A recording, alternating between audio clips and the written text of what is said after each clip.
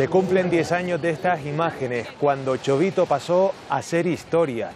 Las palas, tal día como hoy, de 2012, acabaron con las últimas viviendas de este poblado marinero del municipio de Candelaria, en la isla de Tenerife. Sí, las palas acababan con las últimas ocho viviendas que quedaban en ese poblado de Chovito, que inicialmente tenía 31 casas, ahí vivían 31, 31 familias y hoy precisamente, 10 años después, hemos querido volver en Nunca es tarde a Chovito, Naomi. Sí, Alicia, porque como bien acaban de comentar, hoy se cumplen 10 años del derribo de las últimas casas del poblado de Chovito, un caso que sin duda dio la vuelta a todo el archipiélago y que nosotros hoy en, en este programa, en Nunca es tarde, pues también hemos querido rememorar. En unos minutos vamos a poder hablar con los vecinos de Chovito. Para ellos también hoy está siendo un día bastante complicado en el que están rememorando todo lo que ocurrió hace 10 años, pero nosotros ya hemos podido hablar con uno de ellos, con Tomás, que sin duda pues se emocionaba de esta manera. Escuchen. Lo que estamos viendo ahí es que esa gente está buscando sus pertenencias. Dentro de, de esa casa habían cosas, pertenencias, recuerdos, vivencias. ¿no? Y es duro ver eso. ¿no? Hoy en día recordarlo en estos momentos es muy duro. ¿no?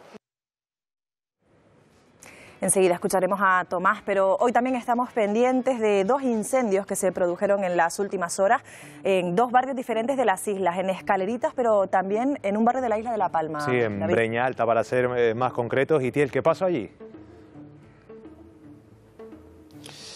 Precisamente en esta casa donde me encuentro es donde se produjo el incendio en el día de ayer a las 23.30 y fíjense cómo, en qué estado ha quedado la fachada de la casa. Yo creo que las imágenes hablan por sí solas. En esta casa vive Susi, su madre de 92 años, que sufrió también una intoxicación moderada. Y Susi, me imagino que habrá sido un susto tremendo.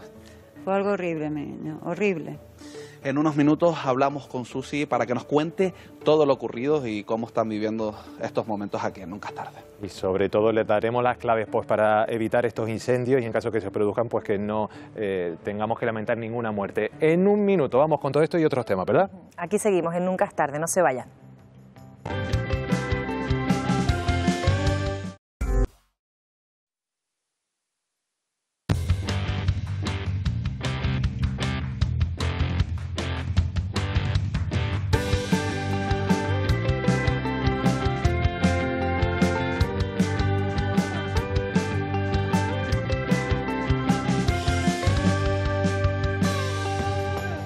Vuelta en Nunca es tarde. Vamos a hablar eh, a continuación de varios sucesos y por eso nos acompaña aquí en plato José Luis Sebastián, comisario principal honorario de la Policía Nacional. ¿Qué tal, José Luis? Muy bien, muchas gracias. Muchísimas gracias por estar con nosotros. Vamos a arrancar el programa hablando de dos incendios. El primero eh, lo encontramos, se registraba justo ayer en la avenida Escaleritas, en Las Palmas de Gran Canaria. Vamos a ver qué pasó exactamente. Ayer por la tarde hubo un incendio en un edificio en la avenida Escaleritas y que además una mujer tuvo que ser trasladada en estado grave por, por incendiarse la cocina. Así que vamos para allá y vemos qué pasó. Venga, vale. Vámonos.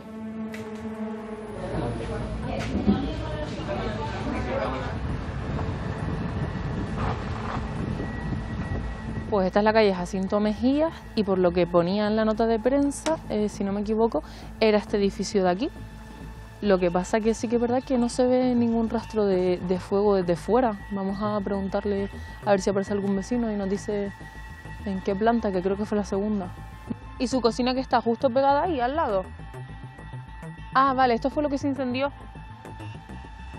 Vale. Oye, ¿tú nos lo contarías lo que nos estás contando? Sí. ¿Sí? ¿No te importaría? Pero me tengo que poner algo. Sí, sí, sí, sí. ¿Y te podría venir aquí incluso? ¿Sí? Venga, muchísimas gracias, muy amable, gracias.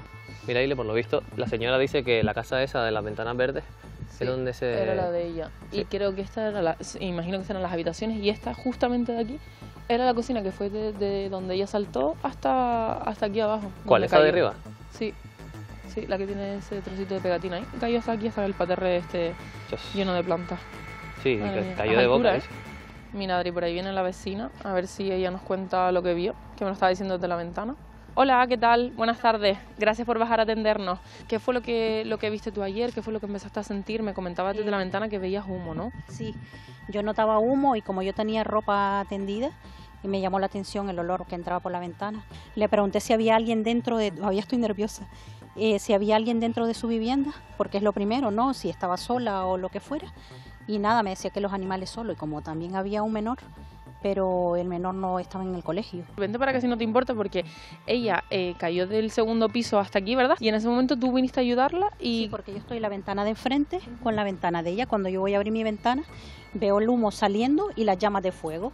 Y cuando ya veo las llamas de fuego por detrás de ella y la desesperación, que fue a lanzarse y cuando ya estaba en el suelo, yo hablándole para ver si estaba consciente y me decía, no, te dejo el número, llama a mi padre, llama a mi padre. Y yo se lo, se lo pregunté, las tres veces que me lo dijo, me lo dijo ella eh, equivocado. Cuando ya pude yo coger bien el número y le avisé al padre y enseguida... No, pero tú en el momento en el que ella estaba tendida en el suelo, tú de los nervios no supiste cómo no te decías ni Claro, reaccionar. ¿no? Claro, no sabía porque yo me, tenía el móvil incluso ahí al lado y no fui capaz de cogerlo porque me, me bloqueé. Sí. Perfecto, pues muchísimas gracias. ¿Sabes algo, algo de, su, de su evolución, de la señora? Pues mira, como, como la vecina nos acaba de decir que no sabe nada más, estaba leyendo justamente que todavía a día de hoy eh, está ingresada, como ayer la ingresaron, que, que continúa en estado de gravedad vaya en el Hospital Universitario Dr. Negrín. Así que esto es lo que pone por aquí la nota de prensa. Y bueno, nos quedaremos pendientes a su evolución, a ver si, si logra recuperarse bien. Esa mujer continúa hospitalizada, grave. Nos vamos a ir hasta el barrio de Escaleritas, ahí en Las Palmas de Gran Canaria. Y Lenia, ¿qué más sabemos de este caso? Pues David, justamente ahora que llevamos aquí un ratito, hemos podido entrar en el piso donde ayer se produjo ese incendio, porque es verdad que esta mañana no estaban sus familiares, pero ahora sí que están aquí, ahora nos van a decir cómo evoluciona esta mujer, pero primero nos gustaría mostrar cómo quedó esta cocina ayer. Según nos han contado los familiares, fue que la mujer estaba con la freidora encendida, se fue al salón y se olvidó de que estaba ese fuego ahí en marcha y directamente cuando ya volvió a la cocina esta se estaba incendiando y por eso, como nos ha contado la vecina, tuvo que salir por la ventana para poder salvar su vida. Sí que me gustaría antes de hablar con su familiar hacer un simple recordatorio, que ya lo hacíamos el otro día también, y es que existen los detectores de humo como este que tengo yo aquí en la mano. Hay una campaña, sobre todo para empezar a utilizarlos porque son muy baratos, cuestan tan solo 7 euros y te duran alrededor de 3 o 4 años y podría salvar muchas vidas. Por suerte podemos decir que esta mujer está hospitalizada, es verdad, pero está fuera de la gravedad y así nos lo va así nos lo va a confirmar su prima, que como digo, estaban sus familiares aquí revisando su casa porque ella, ¿qué fue exactamente lo que le pasó al, al tirarse por la ventana? Ella ahora mismo tiene cinco costillas partidas, la cadera y la clavícula, pero está muy animada, está con su tratamiento, la están cuidando muy bien en el hospital. Creemos que se va a quedar un par de días ingresada y que después ya viene a reposar a casa. Ahora incluso pueden ir a verla, ¿no? Creo que ahora se van a dirigir hacia el Hospital Universitario de Tornegrín. Ahora voy a llevarla al hijo para que la vea un ratito y ya después ya nos organizaremos ya la noche. Han podido hablar con ella, imagino que para ella también fue un susto, no sé si es consciente, porque la vecina sí que nos decía esta mañana que en todo momento ella era consciente de lo que le estaba pasando, que incluso llamaba, les decía que llamasen a su padre para avisarlo cuanto antes, y ella recuerda todo, imagino, ¿no? Sí, sí, ella todavía está con el susto en el cuerpo, pero está tranquila porque al final ha salvado su vida y está dentro de la gravedad, está bien, el niño está bien, todo está bien. El niño afortunadamente no estaba aquí, estaba en el cole. Pues muchísimas gracias compañeros, ya lo ven, así ha quedado como digo esta cocina, pero una vez más, aunque se haya producido otro incendio, otro incendio podemos decir que la persona pues ha salido ilesa de, este incendio. Está con heridas por la caída precisamente de- al saltar de, de la cocina, esos dos pisos eh, de su vivienda. Pero este no ha sido el único incendio que se ha registrado en las últimas horas. En la isla de La Palma, ya se lo decíamos antes, en el municipio de Breña Alta y Tiel, pues también otra mujer pues ha tenido que enfrentarse a un incendio en su vivienda. Sí, a las 23.30 horas del día de ayer fue cuando se produjo el incendio en esta casa del municipio de Breña Alta. Y fíjense pues cómo ha quedado aquí, eh, pues había una pequeña terraza, ahora estamos viendo las ventanas eh, pues prácticamente calcinadas y como digo, de la terraza prácticamente pues eh, no queda nada. También tenía un paraguas que como pueden ver pues ya prácticamente no existe y tenemos que decir compañeros que el incendio se originó en la fachada de la casa aquí donde nos, nos encontramos. Yo estoy con Susi. Susi, antes de hablar contigo, si te parece, entramos dentro para ver cómo quedó eh, pues el salón, ¿verdad? Sería lo que... El salón. Es, es lo que lo que se más se dañó. Lo demás de humo, tú sabes que el humo, el humo es lo que Pues lo coge toda la casa, la parte alta, la parte baja, toda la casa. ¿Y que te has quedado sin luz aquí ahora sin mismo? luz, ahora mismo estoy en casa sin luz. ¿Cómo te sorprendió el incendio? Tú vives aquí con tu madre Yo de vivo aquí 92 con mi años. madre, Sí. Y nada, llegué desde el trabajo y cuando entré a mi casa yo no vi nada, nada que me pudiera alarmar, que siempre estoy pendiente del fuego. Y por ella más bien, ¿sabes? Por, por tal, porque dejé las cosas encendidas, siempre estoy mirando la cocinilla, mirando todo y me duché, entré, me duché y cuando me terminé de duchar me llamó y me preguntó si a mí no me estaba dando olor como a algo quemado y como a velas quemadas. Digo, como no lo oí bien, como mismo salí de la ducha, llegué hasta la escalera porque ya estaba en la parte alta. Y entonces me dijo que, que si a mí no me estaba dando olor a vela, le dije que vela. Entonces ya cuando miro para el comedor y veo por la ventana me veo el, el- el- el color del fuego, las llamas, ¿no?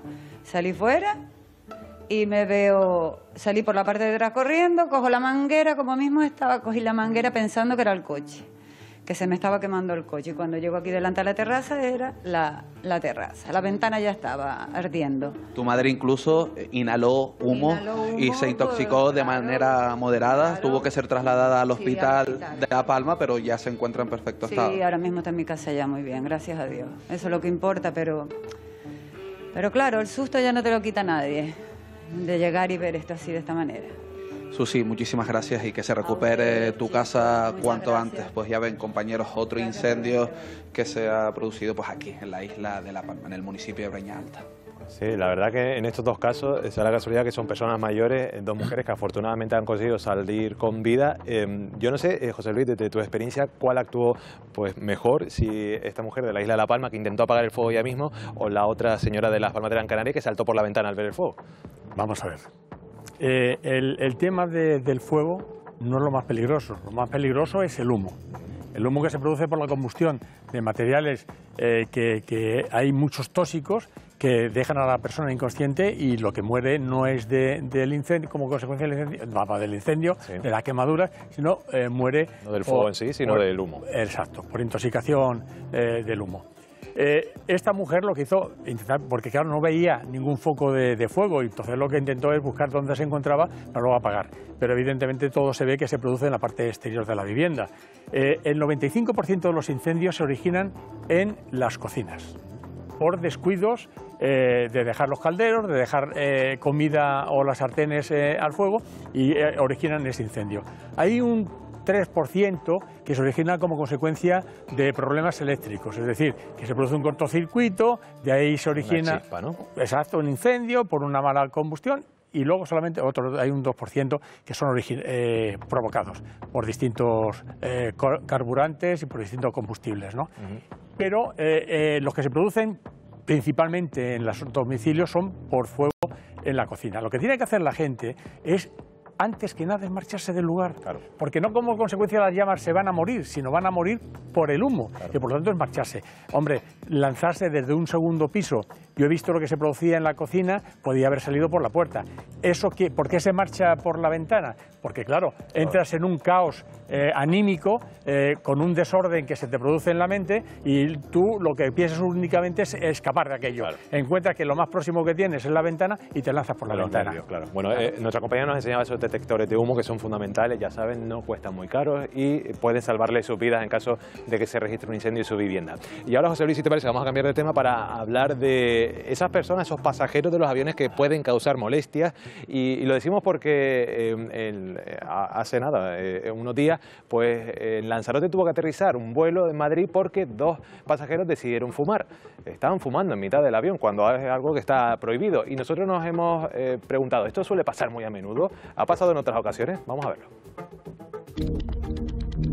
Tuit de controladores aéreos. Vuelo de Madrid a Lanzarote requiere policía a su llegada por pasajeros conflictivos a bordo. Se le recorta aproximación en lo posible y se coordina presencia policial a su llegada. Un nuevo incidente a bordo de un avión con destino a Canarias que nos recuerda a otros recientes. La tripulación se ve enfrentada a un pasajero fuera de sí en un vuelo rumbo a Tenerife, alterando al resto del pasaje. Careo entre pasajeros. pelea en un vuelo de Manchester a Tenerife en 2019 que también recordamos. El alcohol es uno de los condicionantes de provocar estas situaciones que lamentablemente no paran de sucederse en vuelos con destino a nuestras islas. Bueno, aquí desgraciadamente hasta en los aviones, ¿no? Tenemos que aguantar a personajes así. En estos casos, la tripulación, José Luis, eh, ¿qué autoridad tiene pues para ordenar eh, pues que se sienten, que cumplan las normas? Vamos a ver. El comandante de una aeronave, el capitán de la aeronave, es el jefe no solamente de- del tráfico, sino de, policial de la aeronave. Como un policía, ¿no? Es el jefe policial. O sea, la seguridad de la aeronave depende de él y por lo tanto él se convierte en la autoridad máxima policial dentro de esa aeronave y delega en su tripulación para resolver problemas de estas características. Por lo tanto, pueden llegar a cometer un atentado.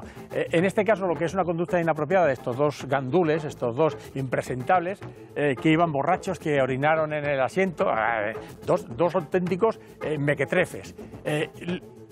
Esa conducta que es inapropiada en sí y que en otro lugar, es decir, en una discoteca, en una calle, daría lugar a una sanción mínima, dentro de un avión sí que puede constituir un delito grave. Si pone en riesgo y en peligro la aeronave, puede caerle de seis meses a tres años de prisión. En este caso, como eran una infracción leve, pues son de seis meses a un año de multa, es decir, entre mil y dos mil euros de multa, que eso se paga, porque si no pagas vas a prisión, eso es multa.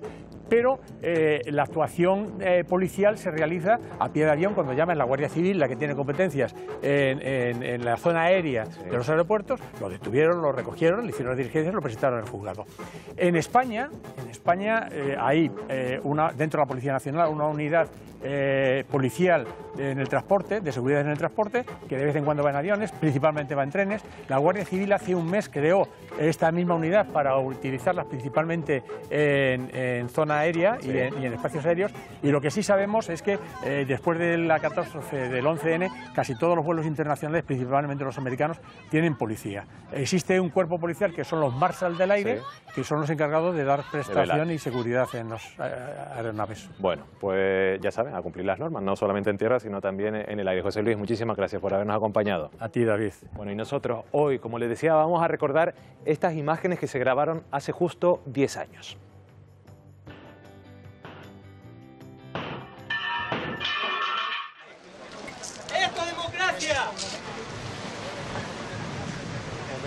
En el que desaparecen las últimas ocho viviendas de Chovito, un poblado marinero del municipio de Candelaria, la isla de Tenerife. Enseguida vamos a recordar estos casos con sus protagonistas para saber cómo se encuentran ellos y también cómo está ese entorno. Será en nada, en unos minutos. Porque antes vamos a eh, invitarles a que ustedes jueguen como siempre, como cada tarde aquí, en Nunca es tarde, nuestro juego la lista, ese juego en el que, como siempre les digo, no tienen que hacer nada, ni salir de sus casas, tienen que estar tranquilitos viendo Nunca es tarde en sus salones y estar muy pendientes a su puerta por si Sara toca pues, su puerta y les hace ganar hoy un bote, vamos, que, que ahora se los digo enseguida. Lo primero es coger la ruleta, tiramos para allá, ahí está, y hoy la ruleta virtual elige que juguemos en la isla de El Hierro. Así que herreños y herreñas muy atentos porque puede que Sara hoy toque sus puertas y Sara hoy puedes repartir 1.300 euracos de nada, ¿eh?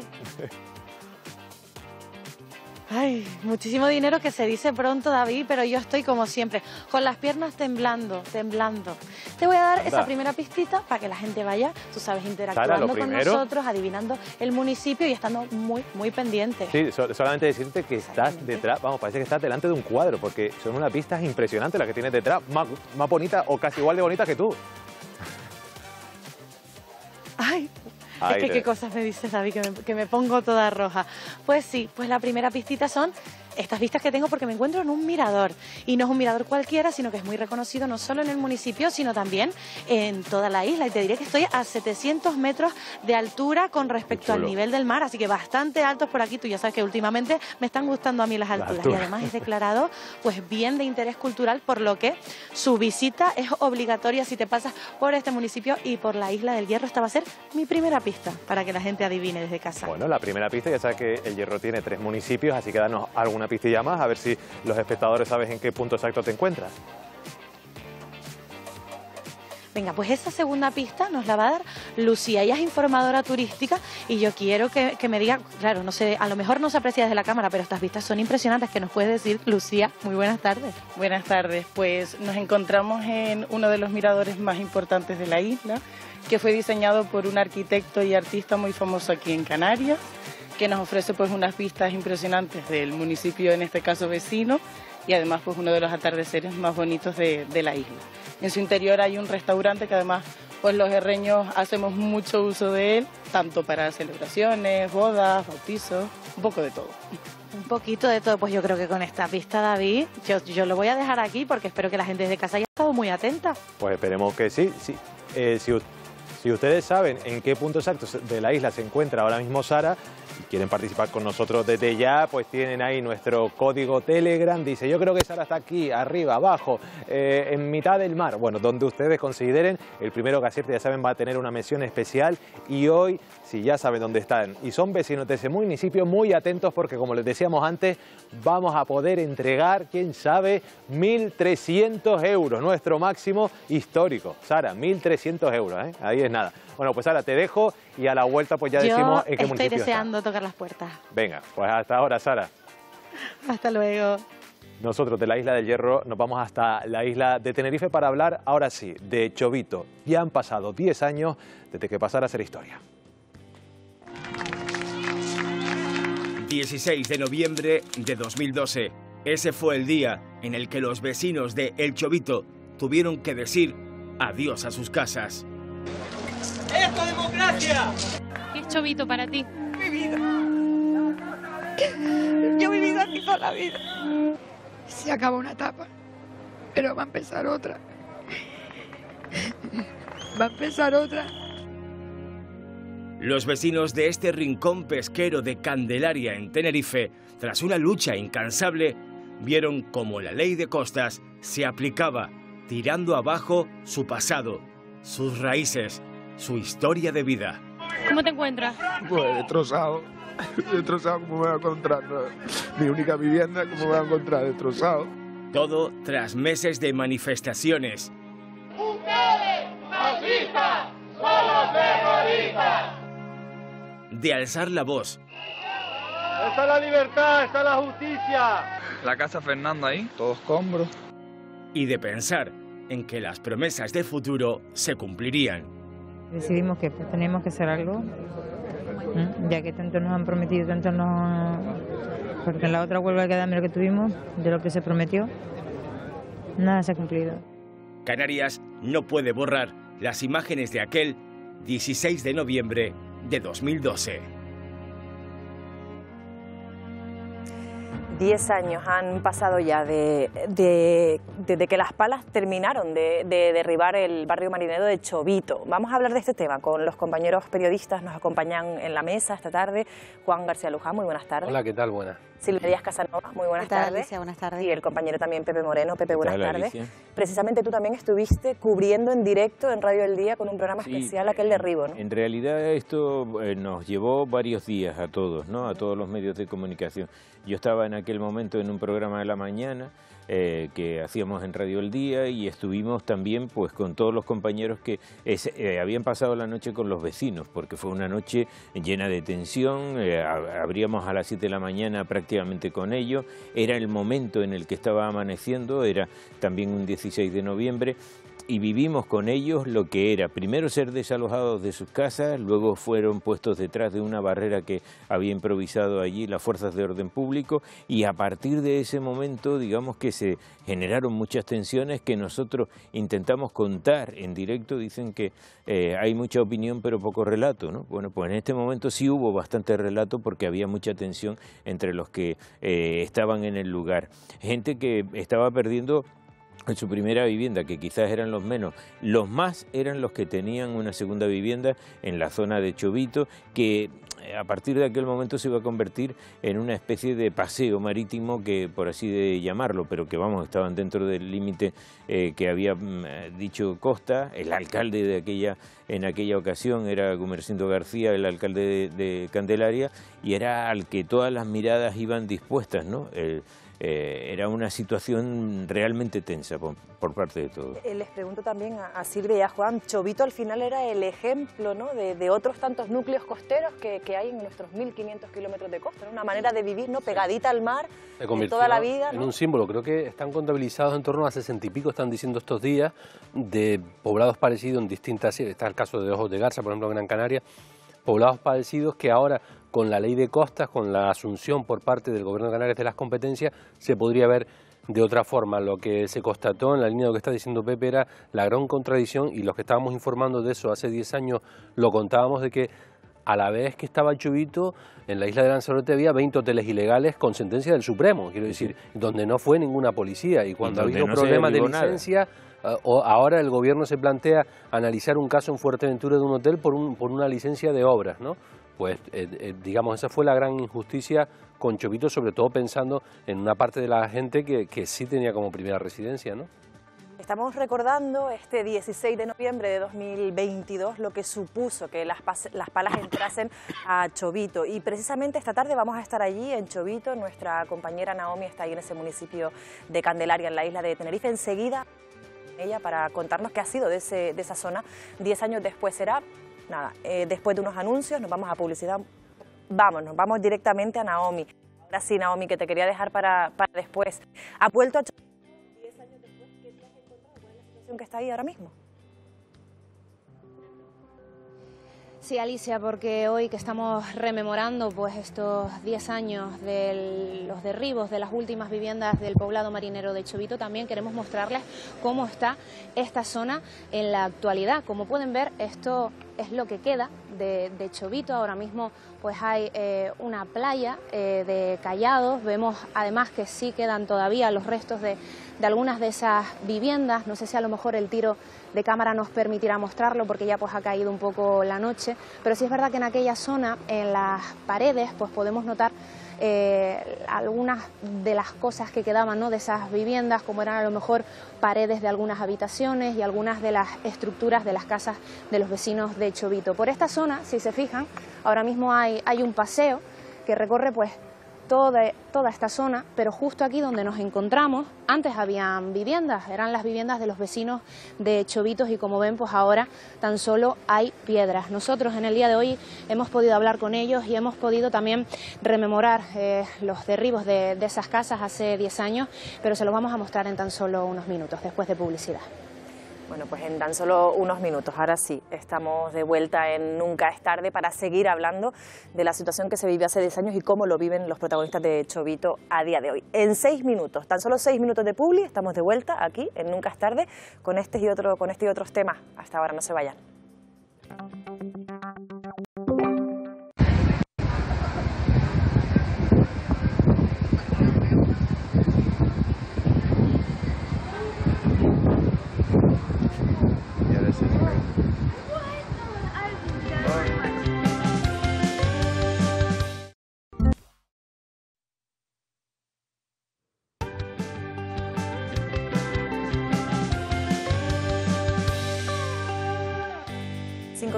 Las 7 de la tarde. Aquí seguimos en Nunca es tarde, nos íbamos a publicidad y, y estábamos hablando de Chovito, del derribo de aquel pueblo costero en la zona de Candelaria, en Tenerife, que hoy se cumplen 10 años y precisamente con uno de esos vecinos que tuvo que ser desalojado de sus casas, su casa fue derribada, hemos querido recordar ese momento, una década después. Todo escombro. Dejaron bolsos esos, de la bolsa de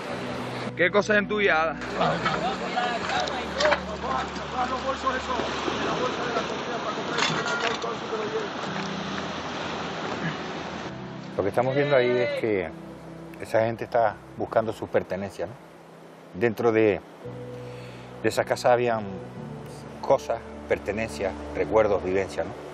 Y es duro ver eso. ¿no? Hoy en día, recordarlo en estos momentos es muy duro. ¿no? ¿Les dio tiempo a los vecinos de No. sacar su- sus pertenencias, sus cosas? No. Yo te doy gracias a algunos ciudadanos que encontraron mi cartilla militar, mi carnet de identidad, mi cartilla del seguro y como yo, títulos no yo, no mío solo, sino de otra gente que cuando ya se terminamos, ya no estábamos aquí, la gente mm, recogió esa documentación a título personal, que teníamos cada uno, títulos profesionales, carnet de, todo, todo, eso lo encontramos entre los escombros. ¿no? Yo no tengo fotografías de mis hijos pequeños, pero como yo, el resto de los vecinos. Y eso es lo que duro. La primera pala que llegó el día 16 eh, de, de, noviembre del año 12 llegó a las 6 y 5 de la mañana.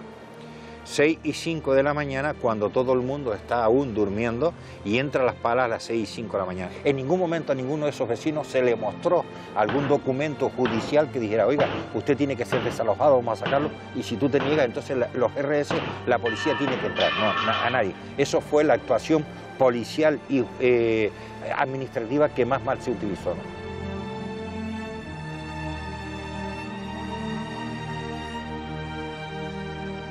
Tú estás perdiendo una casa, ¿no? pero estás perdiendo una vida. Dentro de Llovito hay vida.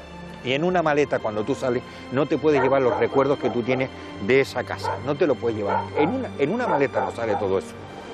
No puedes salir en una maleta. Sí, se llevan ahora mismo a Tomás se derrumba, Roberto, se tira al suelo, se derrumba. Cuando uno lo hace con, porque uno lo decide voluntariamente, bien, pero cuando aquí, en solo horas, horas, es acabar con la historia, no la historia de lo que se trata el poblado marinero de Chovito, sino la historia de las personas que vivían aquí.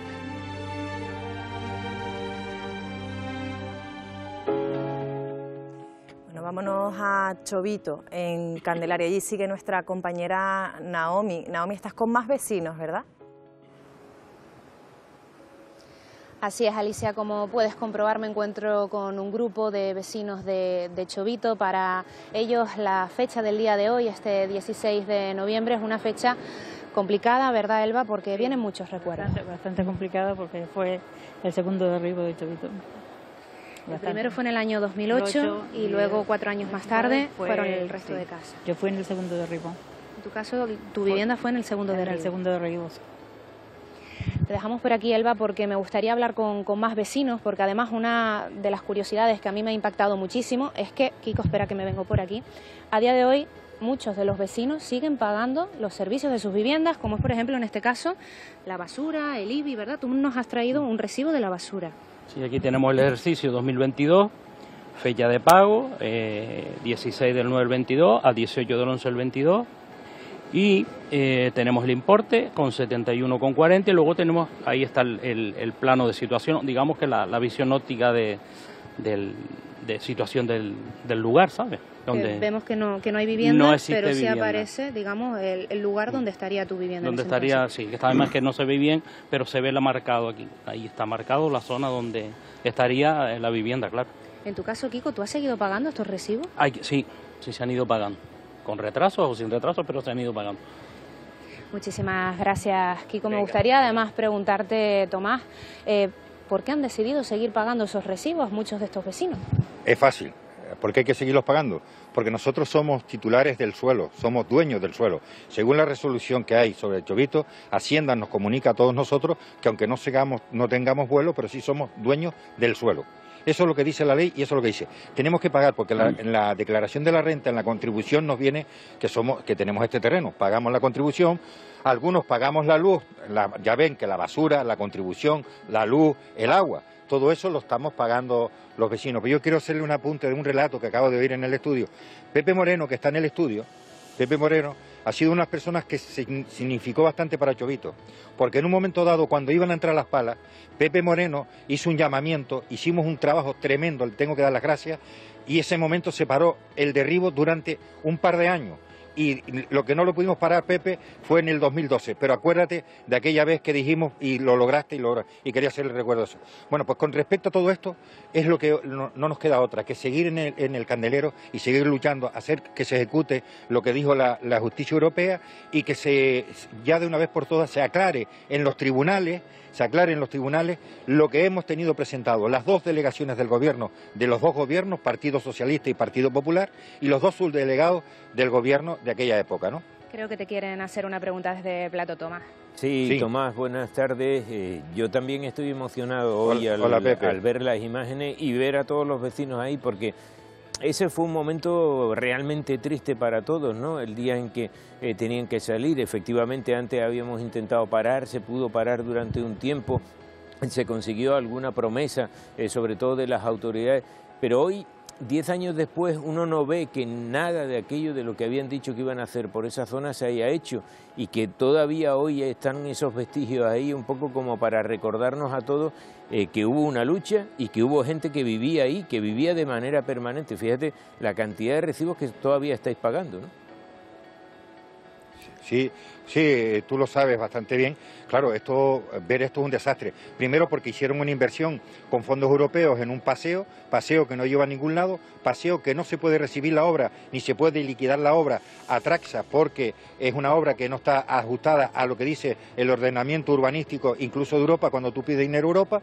En fin, todo eso es lo que se ha hecho. Y tú, como bien sabes y todo el mundo podrá saber, aquí habían otros intereses espurnios como eran la unidad de actuación de Traje Chovito, el puerto deportivo que recoge nuestro plan, gener- plan insular de ordenación del territorio, el PIOT, que, del Cabildo, como es el desmantelamiento de UNELCO y hacer un hotel ciudad, un parque de atracciones, de autopista Era donde está poco- toda la zona de UNELCO, porque es muy rico toda esta zona. Eh, Tomás, era un poco, ustedes eran las Sí. cabezas de turco de los que estaban eh, viviendo, sobre todo en ese momento, lo que se había proyectado y que nunca ha sido realidad en esa zona de Candelaria.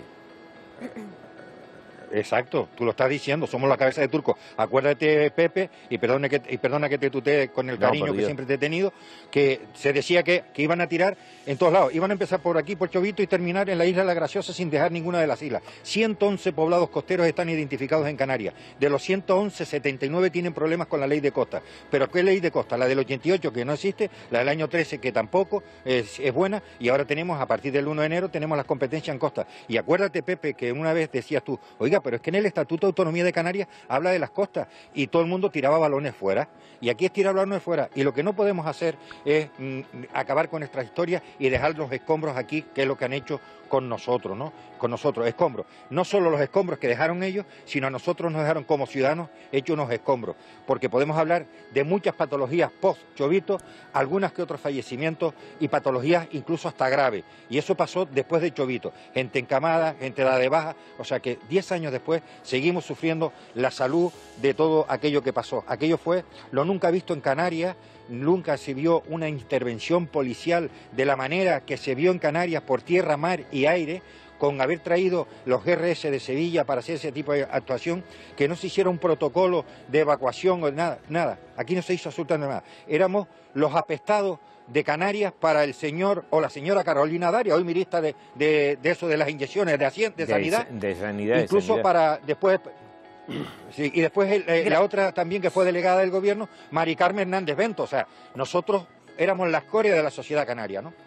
Tomás González, muchísimas gracias por acompañarnos en, en Nunca es tarde y por, por ayudarnos también a recordar qué es lo que pasó eh, hace una década, pero, pero qué es, cuáles son los, los vestigios ¿no? de, de- de lo que sigue pasando también en nuestras costas. Muchísimas gracias. A ustedes, gracias. Claro, ya decía, decía Tomás, ¿no? 111 poblados marineros, Silvia, que, que en principio podrían estar también afectados por la ley de costas, pero al final, como decía también el compañero Pepe, Chovito pagó el pato. Desde luego, mm, uno nunca sale de su asombro cuando ve por qué supuestos intereses comerciales mezclado con alguna ayuda mm, política hace que pase esto, ¿no? Que es que incluso el Tribunal Europeo ha pedido a España la devolución del dinero del paseo porque cree que atentó contra los derechos humanos de todas estas personas. Uno no puede estar durmiendo en su casa y de repente que la, la policía o entre en las palas a, a echarte, ¿no? Es que son derechos humanos que tú estás eh, eh, tomando como acción de unas personas que, que tienen su casa. O sea, es todo tan surrealista que parece más típico de, de países poco desarrollados políticamente, ¿sabes? Países donde la ley no existe y los derechos humanos no existen. Pero no, pasó aquí. Pasó aquí en Canarias, que es España, Claro. que es Europa. Y- Y entonces, claro, no se además- explica uno por qué. Eh, además con una gente que ni siquiera dormía esas noches, estaba nada más que en tensión porque estaban las fuerzas de, de- de orden público por fuera y porque las palas estaban llegando. Claro, y precisamente pues eso, se despertaron con las palas eh, eh, en, prácticamente ya en sus casas. Vamos, ahora, ahora seguimos hablando de, de más temas, pero sí que me quiero levantar porque me enviaste un mensaje, David, un WhatsApp. ¿Esto No qué tiene es? nada que ver con esto. Que No, puede no tiene una nada que ver. Y es una No. tontería, pero claro, eh, nos hicimos ante un selfie, Alicia y un servidor, y es que me veo tan feo, Alicia, que creo que lo voy a pedir. A ver, feo. Voy a pedir a los Reyes Magos algo estético, no sé, ponerme pelo o quitarme el voto o algo de eso. Una operación estética, pero si no te hace falta. ¿Tú qué te- yo tú qué vas a no, pedir no, a yo los soy Reyes? más mundana, yo me voy a pedir a los Reyes Magos un bolso. ¿Un bolso? Personalizado, una cosa así. yo Ya, creo. Mira, Alicia, casualmente, hablando de operaciones estéticas, y aparece, mira, y ahora aparece el bolso. Quizás a ustedes esto le haya pasado, que están hablando de diferentes temas y de repente, pumpa, la publicidad pone de la conversación que estaban Claro. teniendo en ese momento. Y, y nos da un miedo porque parece como que como si los móviles nos escucharan, ¿no? Y realmente nos hemos hecho esa pregunta, ¿la tecnología nos espía? ¿Saben que todo lo que hacemos, vemos y buscamos en Internet se queda grabado para siempre? Vivimos en línea, utilizamos dispositivos para todas las facetas de nuestra vida. La red nos ve y nos escucha. A nadie le sorprende hablar sobre un producto, entrar en Internet y verlo milagrosamente anunciado por todas partes.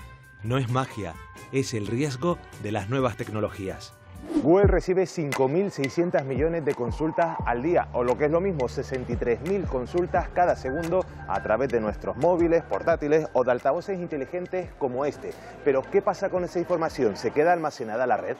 Nuestros móviles, nuestros ordenadores, tablets, aplicaciones o televisores, todos los dispositivos que utilizamos en el día a día exponen nuestra privacidad sin que nos demos cuenta. Todavía estoy aprendiendo ese idioma. Siempre puedo traducir para ti. Solo tienes que pedírmelo. Los controles por voz, por ejemplo, permiten que nuestras conversaciones sean escuchadas de manera continuada y sin consentimiento. Pero, ¿con qué fin? ¿Qué porcentaje real de esa información es almacenada para después utilizarse? El hecho de que los dispositivos móviles y los televisores incorporen cámaras o micrófonos sí que puede suponer un riesgo para la privacidad de los usuarios, porque estos pueden recabar información que puede ser almacenada con fines comerciales, fines publicitarios o otros fines cuya motivación nada tenga que ver con el uso de la propia aplicación o funcionalidad que se da al usuario. Pito, pito. Gorgo, pito. Pin. Pan. Fuera. Como si de un reality de televisión se tratase, las marcas nos controlan para saber en qué estamos pensando. Saben lo que buscamos, dónde estamos y lo que queremos comprar. Pero, ¿qué hacen con esa información que recolectan? ¿Por qué es tan valiosa? Las compañías recopilan nuestra información para luego vendérsela a grandes empresas. Crean necesidades para vendernos a nosotros productos personalizados.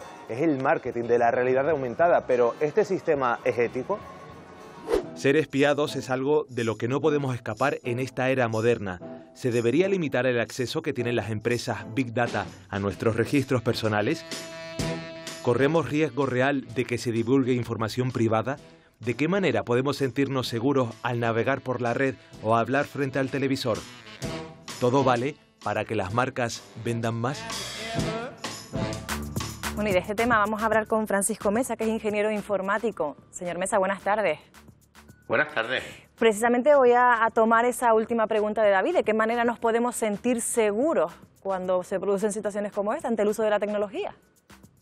No te he escuchado bien la pregunta, si la puedes repetir. Sí, que de qué manera nos podemos sentir seguros, ¿no? Dado el uso que se hace, ¿no? De los dispositivos y, y el uso de la tecnología, ¿y alguna manera para que no nos escuchen?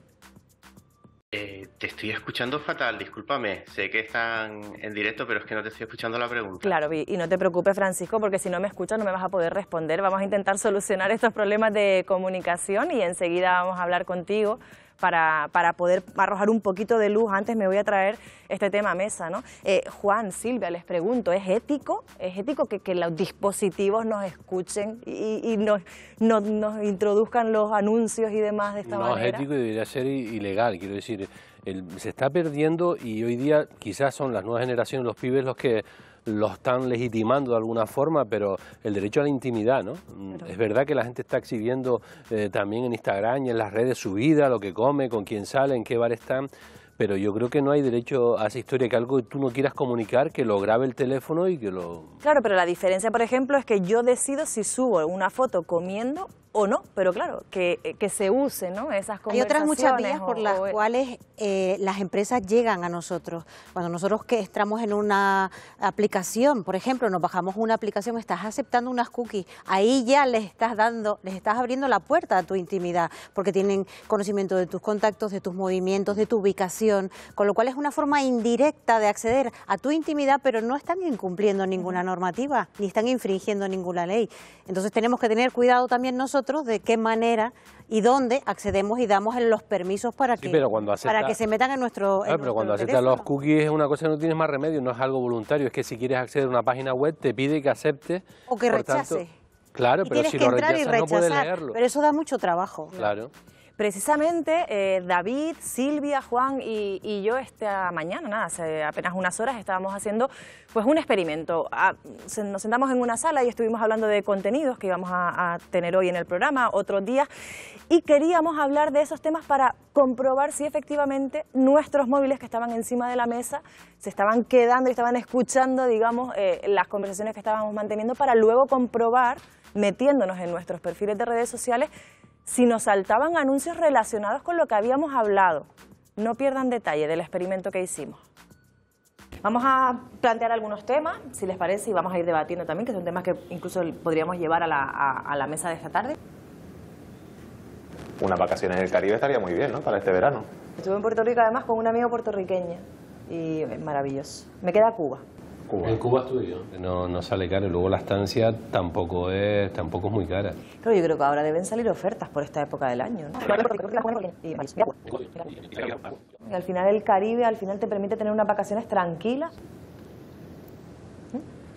Mira, tú no acabas de escuchar que tenemos que cambiar los coches que tienen más de 10 años. Y coches de segunda mano creo que es difícil, ¿no? Comprar ahora. Hasta 2030 se pueden O sea vender y a partir de 2040 ya no puede circular ningún coche de combustión. Cuando estás conduciendo, si tú no tienes puestas unas gafas de sol, te, te chocas. A mí me, me choqué una vez, de hecho. ¿Y ustedes se atreverían a comprarse gafas de sol por internet sin probárselas? Las gafas como la ropa interior hay que probársela. Y ahora tenemos que comprobar si los móviles nos escuchan. Para ver si los móviles nos espían, así que vamos allá. Yo voy a abrir Twitter. Bueno, yo ya tengo una. Land Rover Spain, una publicidad sobre coche. Winter is here. Mogan Mall. Un centro comercial. Bueno, tú nombraste los centros Yo comerciales. nombré los centros comerciales, es verdad. Publicidad de coches en este caso. Cuba, Mira. Cuba única, de Logitravel. ¿Cómo Ópticas. busco los stories? ¿Cómo los busco? Otro de coches. Publicidad del corte inglés. Viajes, ropa, gafas de sol, agencias de viaje. A nuestro aire nos vamos a organizar el viaje y me salta Airbnb. Prada, ¿unas gafitas de marca o, o baratas o común? Pues mira, aquí las Mira, tengo. otro de coche. Smart World. De ruedas de coche. Como hablamos de talleres de coche, Meliá eh, Resorts. Río de Janeiro, Lufthansa. Viaje. Mira, tu tienda online, Wow Market. Hablamos mucho de tienda online, de compra online. está claro que ganan los coches y los viajes, ¿no? Ganan los coches, ganan los viajes y gana el asombro de, de nosotros, ¿no? Porque, vamos, yo no lo había hecho nunca, este experimento, y, y nos salieron todos los No, no, y simplemente estaban los móviles allí, con, no, estaba, no estaba en modo avión, sino estaban en silencio para que estuviera en el internet conectado. Y ahí se ve que estaban espiándonos, ¿no? Pero mira, yo tenía el, este mismo ordenador en la esquina de la mesa y a lo largo del día que he entrado para trabajar, también curiosamente me he salido. encontrado con anuncios de viajes y de coche. Claro, a mí a veces no me pasa sé cuando qué tiene que ver, pero también han aparecido. Si es la A lo misma mejor es que se conectan el teléfono y Si el es el móvil. usuario de Google el mismo, te memoriza lo que te coge el teléfono. A mí a veces me pasa que estás buscando y después te aparecen cookies, Claro. pero es que nosotros no habíamos buscado nada, o sea, simplemente estábamos hablando de este tema, ¿no? Estamos dejando huella constantemente y eso hay que saberlo además, porque tú estás además con el móvil en tu usuario de Google y luego abres el ordenador y se ve lo que has estado buscando, si has puesto una canción, si- Algunos especialistas que dicen que incluso apagando el móvil, que nadie sabe, Mm. saben cuál es tu ubicación, incluso teniéndolo apagado, o sea que es que estamos pillados. Lo único es salir de casa, dejar el móvil apagado y hacer tu vida para que no se enteren qué haces, ¿no? Pero incluso apagado son capaces de conectar. Vamos a intentar arrojar un poquito de luz sobre, sobre este tema con Francisco Mesa. Francisco, ingeniero informático. Ahora sí le saludo de nuevo. ¿Me escucha bien? Ahora te escucho perfectamente. Perfecto. Ahora sí, no, no pasa nada, no pasa nada. Esto suele pasar a veces que la tecnología ya sabe, ¿no? Hay maneras de evitar que, que esto ocurra, que, que, la tecnología que usamos habitualmente parece que nos escucha. Hay un sí y un no. Es decir, ¿podemos evitar que nos escuchen? Sí. Lo que pasa es que o dejamos de utilizar servicios como Netflix, o bueno, las grandes plataformas que hay ahora mismo de televisión en, en, las televisiones que tenemos en los salones o en los dormitorios, o dejamos de utilizar otro tipo de servicios que ahora prácticamente estamos utilizando casi a cada instante eh, a través de un móvil, un ordenador, una tableta, porque muchas veces te piden que aceptes las condiciones de uso, como es el caso de WhatsApp, que si uno lo piensa, eh, WhatsApp también pertenece al grupo de empresas Meta, por lo tanto, cualquier tipo de información que puedan obtener a través de esa plataforma será utilizada tanto en Instagram como en Facebook para, ofrecerse, para ofrecernos ese tipo de información. Así que lo más probable que pase es que no, de forma práctica no podemos evitar eh, que nos escuchen y sobre todo eh, hay que tener en cuenta que aunque nos pongan algunos servicios para evitar que ellos puedan obtener esos datos de nosotros y revenderlos o utilizarlos para eh, mostrarnos publicidad personalizada, pues realmente es muy complicado porque suele estar en las últimas opciones del menú, no es muy claro que sea una opción de que configuremos nuestra privacidad para no ceder los datos a terceros los que crean estas aplicaciones, a final de cuentas, vuestros servicios quieren ganar dinero. eh, si no les pagamos nosotros, pues lo quieren hacer a través de publicidad y por lo tanto no es que no te lo impidan, pero si no te lo ponen cómodo, no te lo ponen no muy lo ponen claro. fácil, ¿no? O Sí, te por- ponen un lenguaje comercial Claro. de que quieren ofrecerte mejor servicio. ¿Y, y cómo funcionan esos algoritmos para que al final de una conversación se extraigan pues directamente esos anuncios que van apareciendo, esos banners? Es que es mucho más que eso, porque quizás a la gente se pueda asustar, los que nos estén viendo, de que nos escuchen, que al final nos escuchan máquinas, no, no eh, sería muy complicado que un ser humano que al que conociésemos o que llegase a conocernos, eh, pues llegase a escuchar nuestra voz, una transcripción de nuestra voz. Pero lo que pasa es que es mucho más complejo y mucho más sensible. La gente debería ser consciente de que, por ejemplo, si yo me reúno con ustedes, yo tengo mi teléfono móvil y imagínense que en vez de haber hecho por videoconferencia hubiera ido al plató, eh, lo que hubiera pasado es que si ustedes tienen activada la geolocalización, por ejemplo, en Facebook y utilizan Facebook habitualmente o Instagram, se detectaría el algoritmo que hay tres móviles, en el caso el mío y el de ustedes, por dos personas más, por poner un caso, y estamos juntos. Y lo que hacen es mostrarnos información de interés eh, a mí, de la información de interés de ustedes y viceversa. Porque entiende que si nos estamos relacionando, de alguna forma puede ser que compartamos intereses y te lanzan la caña de Claro. publicidad o intentan asociarte a otro tipo de contenidos a ver si realmente te interesan y si te interesan porque ellos lo saben, porque en todo momento saben qué estás viendo, cuánto tiempo estás viendo ese tipo de contenidos o si vuelves a ver ese tipo de información otra vez, pues al final lo que han dicho, vale, ya tengo una etiqueta más para esta persona.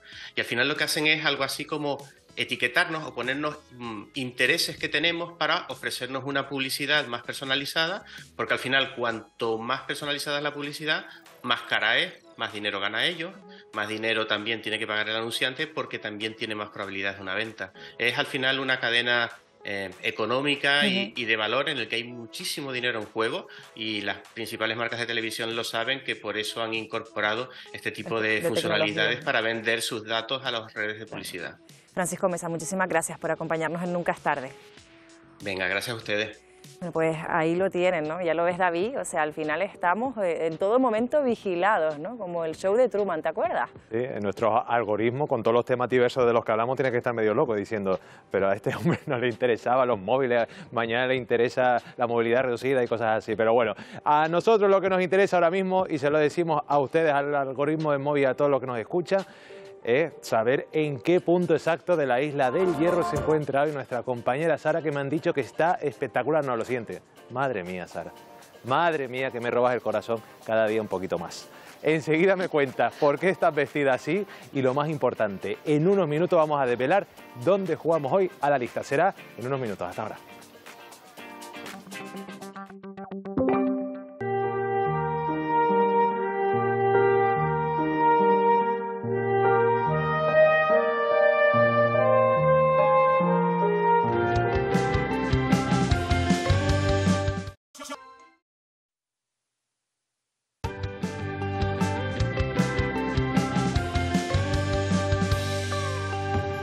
Y media, ya estamos de vuelta en Nunca es tarde y ya ha llegado la hora de descubrir en qué punto exacto de la isla del Hierro se encuentra hoy Sara y también de descubrir por qué Sara está hoy más impresionante que nunca. Pero espérate Sara, ahora me lo cuentas porque antes vamos a descubrir el municipio en el que estás, ¿vale? Vamos para allá. Venga. Venga, los ahí están los tambores, sí. Y hoy, muy atentos los vecinos y vecinas del municipio de Valverde. Ahí está nuestra compañera Sara. Efectivamente, David, mi segunda vez ya en Valverde. Estoy muy ilusionada porque cada vez ese bote no hace más que subir. Es verdad. Dios mío, qué nervios hemos cogido hoy. Pues estamos en la capital del hierro, al nordeste de la isla. Y lo primero de todo, mención especial de hoy para Juanca, que ha sido uno de los espectadores que ha estado muy atentos con nosotros a esa primera pistita que dejábamos antes en el Mirador de la Peña. Estábamos allí con Lucía, un mirador bastante reconocido, como bien decíamos, de visita obligatoria, hecha por César Manrique. Y la verdad es que allí dejó una buena perla, porque como tú bien decías, parecía aquello un cuadro impresionante detrás de mí y yo estaba Sí. muy contenta de que nos pillara encima el atardecer allí. ¿Qué te puedo recomendar de ver, ver. aquí? Pues mira, yo te recomiendo que lo veas todo porque además si te, si te pegas un día, estoy segura de que Valverde te lo recorres. Pero vamos a destacar un par de cositas como el pueblo de Isora, también el de Tamaduste, el. Roque de la Bonanza o incluso el puerto de la Estaca. Mires donde mires, aquí vas a ver cosas interesantes. Pues también las piscinas naturales de Caleta, También. tenemos sus famosas quesadillas que ya las mencionábamos Mm. hace mucho cuando, cuando vinimos aquí y miradores maravillosos como el de la Peña. Así que, ¿qué te puedo decir? Que yo me quedo aquí a repartir suerte. Lo que me tienes que decir es que hace vestida así, Sara. Eso es lo que me tienes que decir ahora. Ay, mira, mira, que te, te tiene intrigado. Mira, yo me quise poner un poquito clásica. Juani, por favor, enfócame también estos zapatitos rojos que me traigo hoy, porque me, me puse clásica para el llamamiento. Yo dije, yo, yo mi segunda vez en Valverde, tenemos que, tenemos que Con subir un poquito todo, ¿eh? el nivel. Entonces me he puesto, mira, como, como chica, claro, como chica de los años 50, porque mira dónde voy a hacer el llamamiento de hoy. A ver. En este coche tan clásico como yo, casi tan chulo. clásico como yo. Yo no sé si juntos quedamos bien, David. Yo creo que sí. Como si lo fuera a conducir yo, pero esta vez me lo va a conducir Pancho, que es nuestro conductor de hoy, para nosotros poder bien, pues, agarrar nuestro megáfono y hacer el llamamiento de la manera que solo nosotros sabemos. Así que vamos allá, Juan, y yo sé que el coche está pequeñito, vamos, vamos a ver si, si Juan y logra pasar por aquí Oye, más bien, conmigo. cuidado, Pancho, ¿eh? Bonito. ¿Cómo se abre la puerta al revés? ¿eh? La verdad es que Pancho lo tiene Niquelao. Impecable, esa primera puerta se abre al revés. Yo voy a cerrar, Pancho, espero hacerlo bien. Tú si no me ayudas, estupendo. Anda, parece Pues nada, David, un bien personaje de, de- de- de novela, ¿eh? ¿Qué parece? La verdad es que sí, ¿eh? Es impresionante, parece una Pues película. Nada, esto no es para otra cosa. Ah, que sí, yo no sé si se puede apreciar lo bien cuidadito y lo bonito que tiene este coche, Pancho. Lo Pancho, que rompe la magia a tus órdenes tú dale movimiento y nosotros empezamos aquí. Venga. Rompo, rompo la magia, pero es de la manera que hay que hacerlo. Hombre, claro. Vecinos y vecinas de Valverde, Televisión Canaria llega a la sociedad con un bote, un pedazo de bote de 1.300 euros. ¡Qué nervios le puede tocar a cualquiera! Nunca es tarde, ha llegado a su ciudad. Y David, si me lo permites, yo ahora voy a cantar que- mi canción, que es que hace muchísimo que no la canto. Claro que y sí. te- Pero parecía Audrey. Audrey Hepburn y de repente la vendedora de pescado. Pero bueno, Audrey no pasa nada. Y de repente, y la Venga. verdad, es que somos personas de contraste. Claro. Vecinos y vecinas, allá va la canción, canten conmigo. Quédate, sintoniza, nunca es tarde. En televisión canaria, jugando a la lista. Estamos en Valverde, llama a tu vecina. ¡Vamos todos! Quédate, sintoniza, y es tarde. En Bueno. televisión canaria, Ella le pone ganas, la verdad que jugando. canta Vamos, como Los Ángeles. Jugando a la Pero bueno, que por ahora no ha conseguido que se le una mucha gente, pero lo importante es que eh, los vecinos y vecinas de Valverde se están enterando ahora mismo de que no nunca es tarde está ahí en Valverde y que hoy puede llevarse dinero. Ha llegado Televisión 1.300 euros. Dejamos a Sara ahí, chillando. 1.300 euros que tenemos hoy de bote. Ya saben, en nuestro juego de, de la lista, en el que no tienen que hacer nada más que estar atentos a nuestro programa. Bueno, hoy vamos a hablar eh, a continuación de un ingreso, un ingreso fundamental para muchas familias que tienen pocos recursos, el ingreso mínimo vital y sobre todo de las dificultades que tienen para solicitarlo, ya no solo presencialmente, sino también vía online. Es el tema que ha elegido nuestro compañero Pepe Moreno para su podcast. Hoy vamos a hablarle del ingreso mínimo vital en este podcast. Hemos intentado nosotros también hacerlo a través de la página web de la Seguridad Social y no hemos podido conseguir, a pesar de todos los intentos que hemos realizado, ningún tipo de acceso que nos lleve a una cita previa en la Seguridad Social donde tendremos que aportar una serie de documentaciones. Bueno, pues vamos a intentar saber algo más. Por ejemplo, en el Colegio de Graduados Sociales, que quizás sean los más expertos en este tipo de acciones, ¿qué es lo que se encuentran? ¿Hasta dónde son capaces de llegar y si son capaces de tramitar eh, todo el papeleo que eh, solicita la Administración a la hora de ingresarle a esa persona que ha solicitado ese ingreso mínimo vital la cantidad de los 489 euros? Vamos a hablar con Candelaria Delgado, que es la presidenta del Colegio de eh, Trabajadores Sociales. Nosotros lo que intentamos también es conseguir la cita en la Seguridad Social, en las oficinas de la Seguridad Social, para que presente esa solicitud del ingreso mínimo vital. Pero como tú bien decías, eh, en Canarias, sobre todo en la provincia de Santa Cruz de Tenerife, es prácticamente imposible eh, solicitar una cita presencial en las oficinas de la Seguridad Social. Entre otras cosas, porque hay algunas, como por ejemplo la DICO, que lleva meses cerrada eh, por un tema de, obras. con lo cual, pues los ciudadanos en algún caso nos han eh, hecho llegar que sin tener medios para ello han hecho el esfuerzo económico de comprarse un pasaje de barco o de avión para ir a las islas de La Gomera y El Hierro y presentarlos en esas oficinas.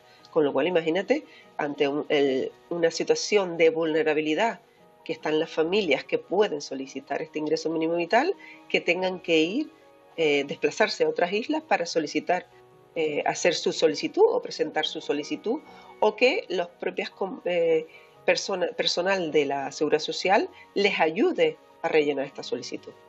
Bien, entonces deduzco, Candelaria, que eh, la presentación de todo este papeleo la tienes que hacer físicamente en algún sitio. han habilitado una web. ¿A través de esa web se podría hacer todo este trámite?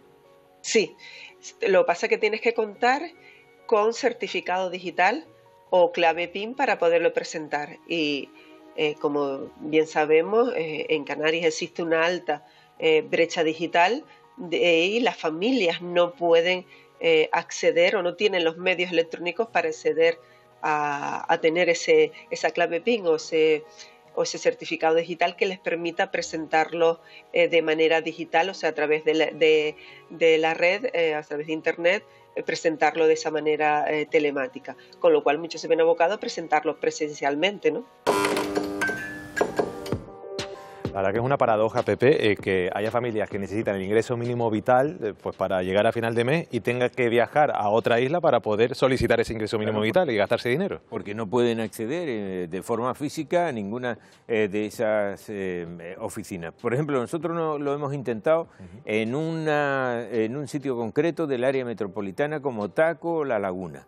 Ahí hemos intentado hacerlo y al final lo que hemos obtenido es que lo sienten, que cuando le hemos dado a continuar, que no se puede realizar ese tipo de historia. Lo hemos intentado también en vecindario, en Gran Canaria, y lo mismo nos ha sucedido, que nos han dicho que no se puede, que cuando le hemos dado a continuar, le hemos dicho dónde y, nos dicen que no, que no. hay citas disponibles para acudir físicamente ¿no? a, la seguridad social. Exactamente. Lo hemos intentado en más municipios. Sí, sí, lo hemos intentado en Las Palmas, lo hemos intentado en Arrecife, lo hemos intentado también en El Paso, en La Palma, que creíamos que era eh, posible que se pudiera realizar ese tipo de visitas, y lo hemos intentado incluso en, Puerto del Rosario, en Fuerteventura. En ninguno de esos sitios era posible. ¿En algún municipio hemos conseguido pues esa cita presencial en la seguridad social? Solamente en Valverde, en El Hierro, que es donde está Sara hoy con, la lista, y en, San Sebastián de la Gomera. En esos dos sitios son los únicos que nos han dicho que sí que nos podrían hacer. Eh, entonces tendríamos que ir hasta el lugar,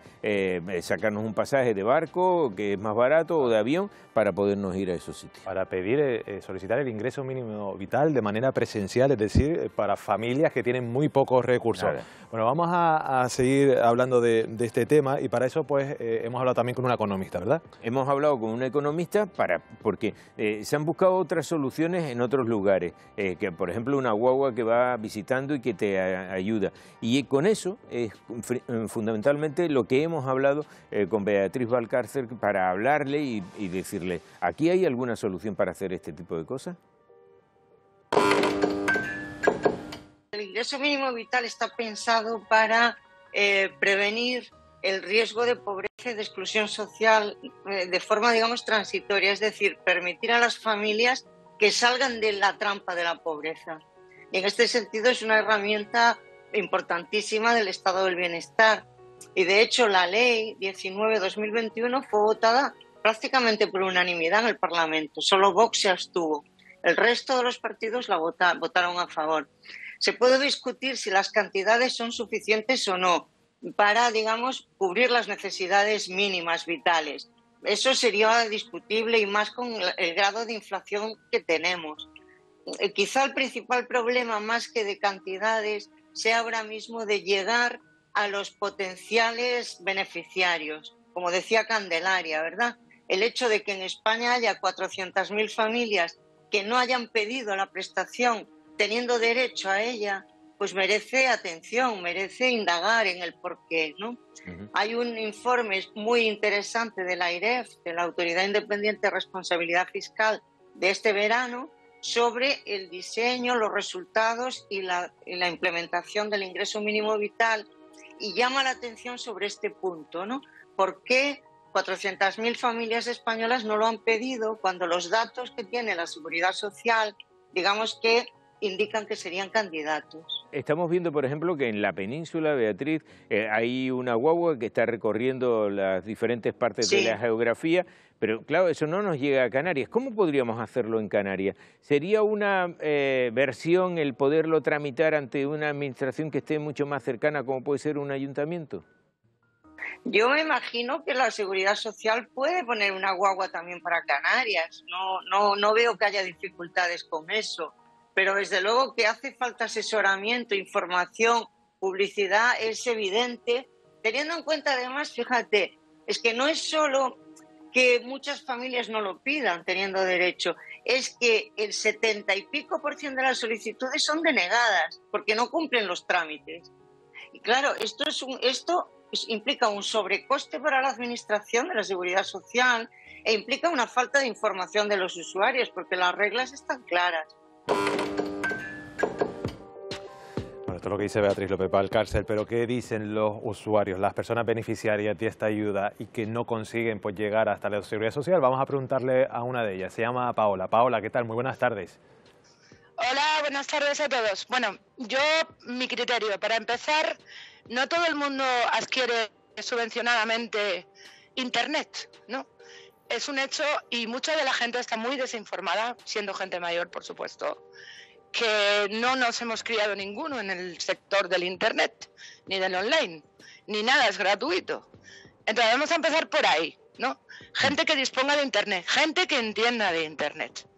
Aquí lo que está pasando es que le están dando de comer a los gestores, a los notarios, etcétera, etcétera, y están privatizando un derecho que por ley nos corresponde a la gente que no tenemos nada.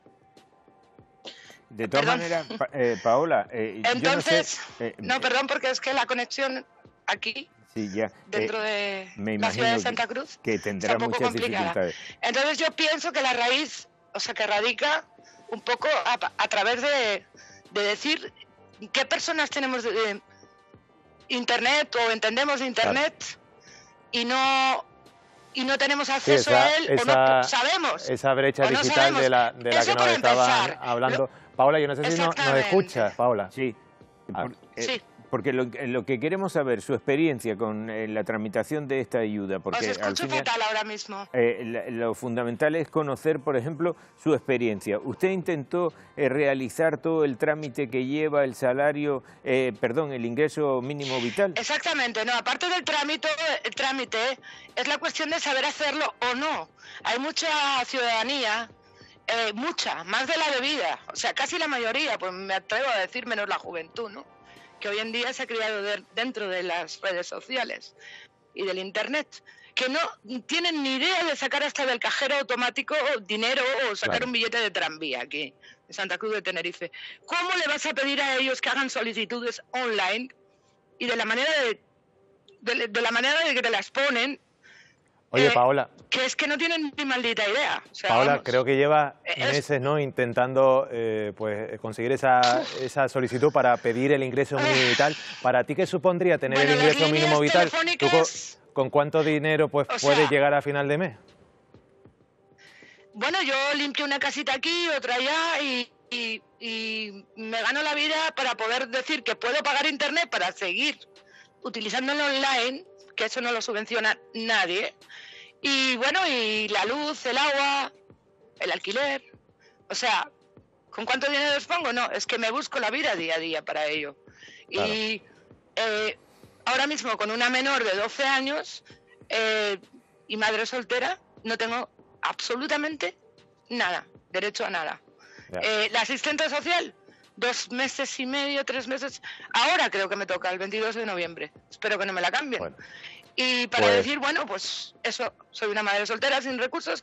El ingreso mínimo vital es una paga que aquí en Canarias, por lo menos, se están exigiendo con ella.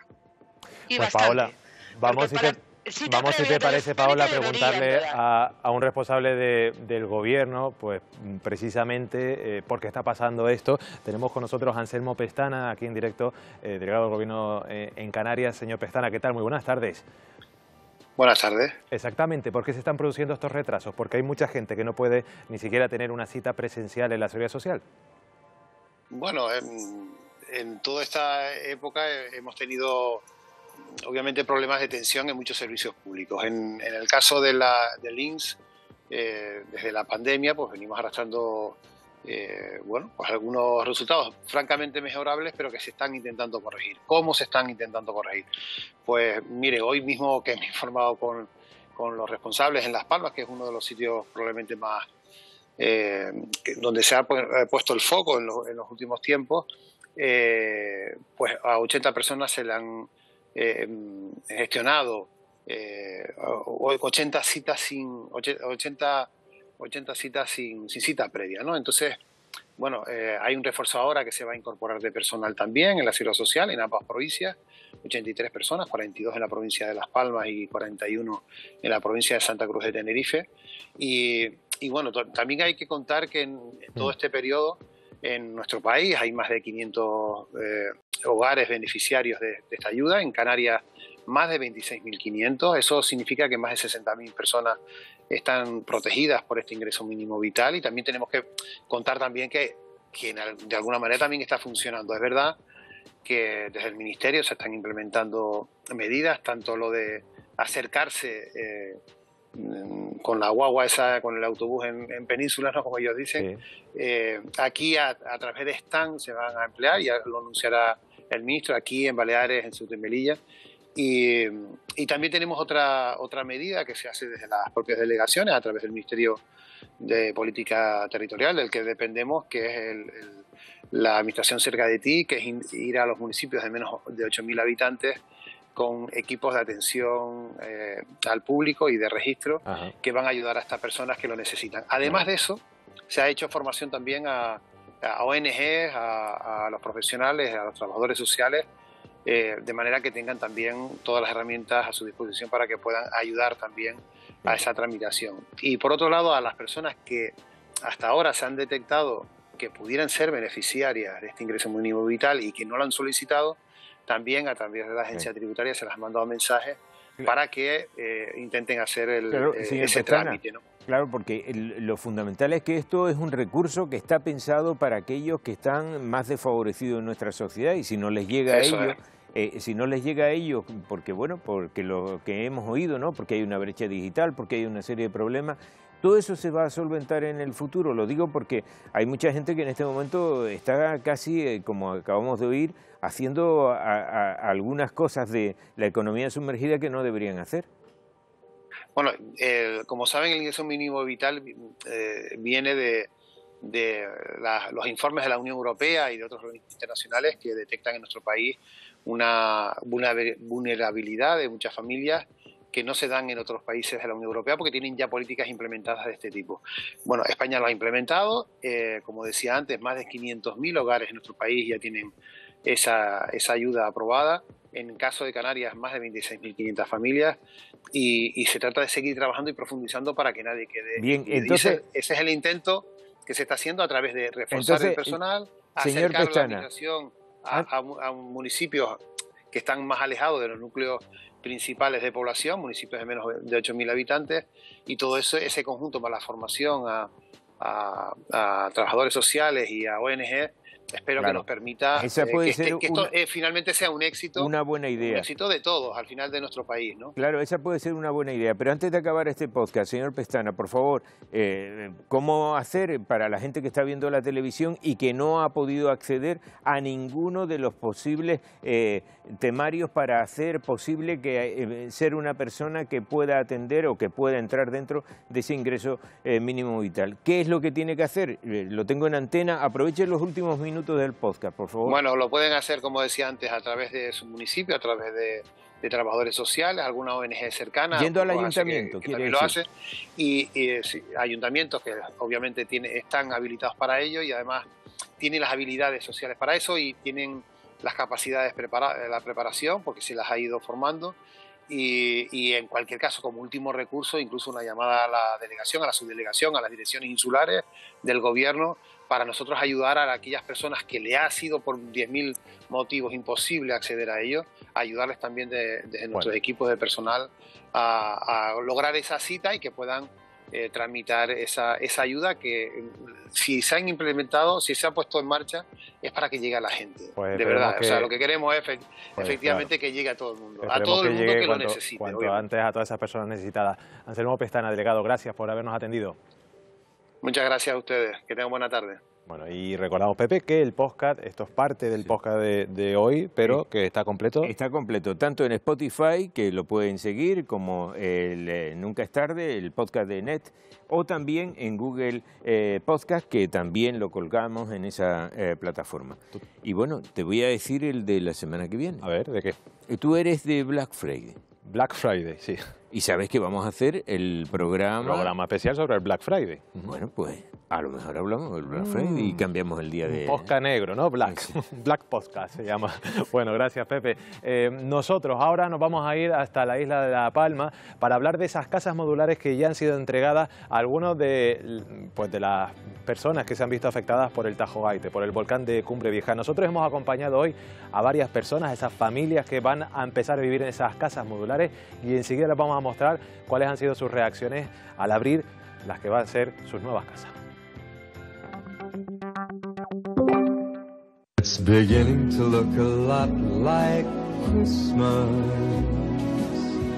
A.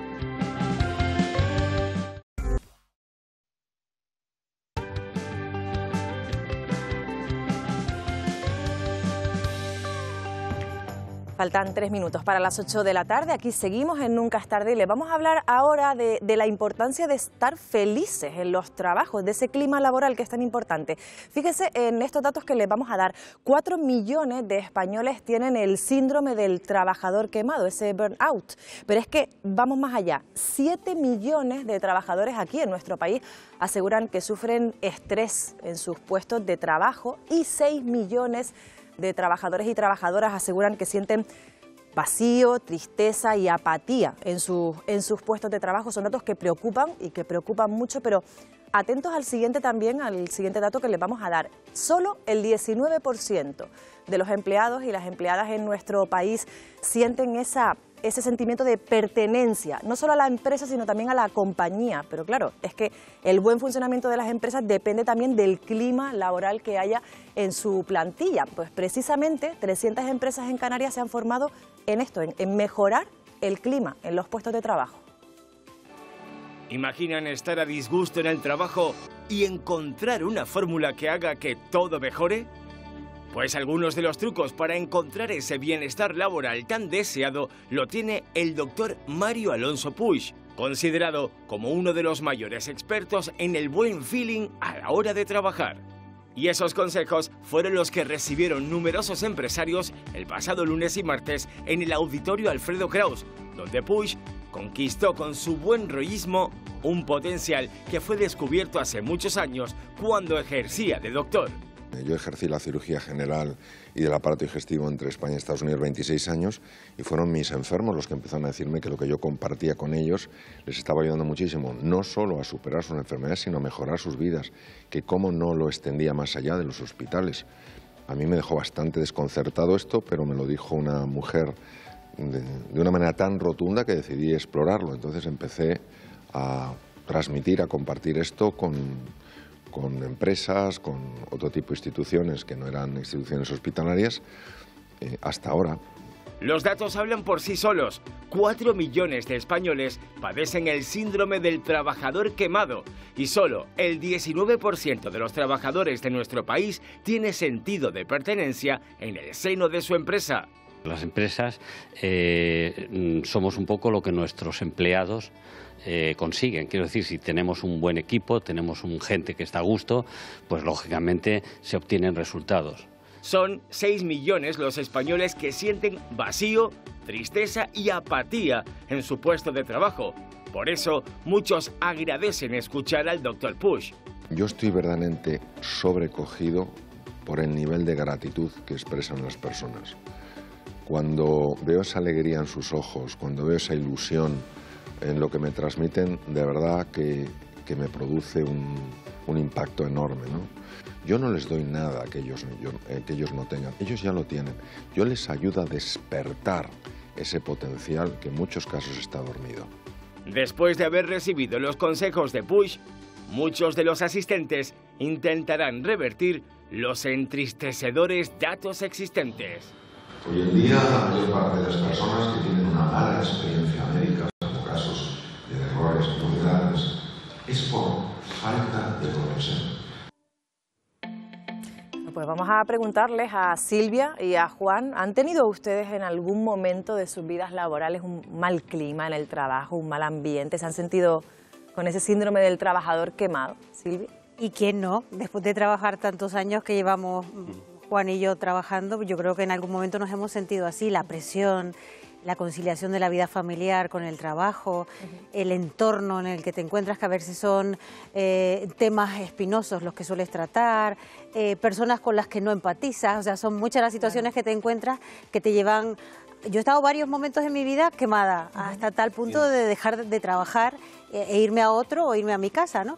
Pero si llegas a ese punto es que no, no rindes en el trabajo, claro. ni rindes en casa, ni rindes con, contigo misma, con lo cual los consejos que da el, el, el doctor Mario Alonso Puig, que yo lo llevo siguiendo desde hace muchos años, son muy buenos, a mí me vinieron muy bien uh -huh. y creo que fruto de esas conferencias yo cambié un poco el, el, el entorno de mi vida, ¿no? A mejorar el trabajo. Ahora, Juan, ¿en tu caso? Yo, con todo respeto a Mario Alonso Puig, eh, creo que los entornos mejoran con mejores condiciones laborales, con menos precariedad, con horas extras que se paguen y hace falta quizás más sindicalismo decente y menos psicólogo y menos coach en los trabajos, como se ha hecho toda la vida. La, la precariedad laboral, el, el, el, que cada vez hay más trabajadores empobrecidos, se han recortado los salarios en las últimas crisis y se quieren mantener esos recortes.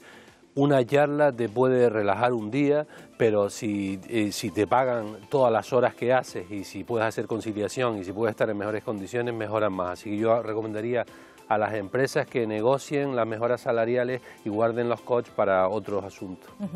Bueno, vamos a hablar de otro asunto, en este caso de, de, La Palma, de las personas afectadas por ese volcán de, de Tajogaite, por ese volcán Tajogaite. Ayer veíamos, entrábamos con una familia a ver la que será su nueva casa, pero hoy hemos querido acompañar a Salomé y a su familia también en, en la mudanza, su nuevo hogar. Salomé y su familia perdieron su casa de la laguna debido a la emergencia volcánica. 14 meses después les han entregado una llave de una de estas casas modulares. Hoy le acompañaremos a hacer la mudanza. Ya estamos cargando las cosas. ¿Está todo preparado? Sí, está todo preparado ya. Solo falta meterlo en la camioneta. María, por favor, María. ¿Qué? ¿Te cabe todo ahí? Yo creo que sí.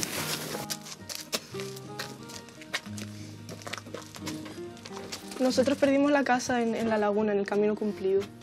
¿Y ustedes han estado aquí hasta, hasta entonces, entiendo, no? Sí, más bien mi padre porque yo estaba estudiando fuera, pero ahora que he vuelto también estaba con él aquí. Ya está cargado. ¿Qué es lo que van a llevar? Porque si es verdad que la casa está totalmente vacía. De momento vamos a llevar dos colchones, una nevera y una lavadora, que es lo que pudimos sacar de la casa. Y luego algunas mantas y almohadas, de momento, porque tenemos que comprar los muebles. Entonces vamos por la cumbre. ¿Cuánto vamos a tardar? 45 minutos.